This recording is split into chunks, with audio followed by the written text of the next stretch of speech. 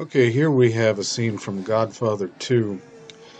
And this is where Vito Corleone meets with uh, Don Fanucci, who is a uh, who claims to be a black hand extortionist in Little Italy. And uh, Vito has just put some money down on the table because uh, Fanucci has demanded $600 from Vito and his two partners uh, because Fanucci knows that Vito is running an illegal business, a, uh, a fencing business where Vito and his two partners steal dresses from a department store and then sell them on the street of Little Italy, the streets of Little Italy. now, Fanucci here is uh, disappointed. He looks under the hat and he sees that there's only $100 there. Vito has only brought him $100. And this is a, a, a, gamble that Vito is taking. He doesn't think that Fanucci is is really backed by backed by the Black Hand.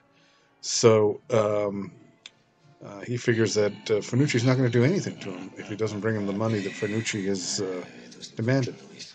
Uh, Vito has just said here that he uh, the reason he can't provide the money is that he's uh, short on cash and he's out of work and uh, he's going to owe it to him later. He's going to give them the, give them the rest of the money later.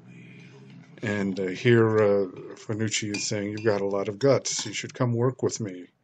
Uh, we can make a lot of money together." And uh, he's going to take a little sip of coffee here.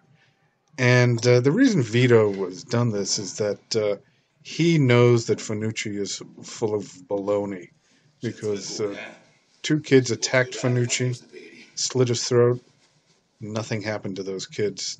They were teenage boys. Also, other people have not been paying off Fanucci. Nothing has happened to them.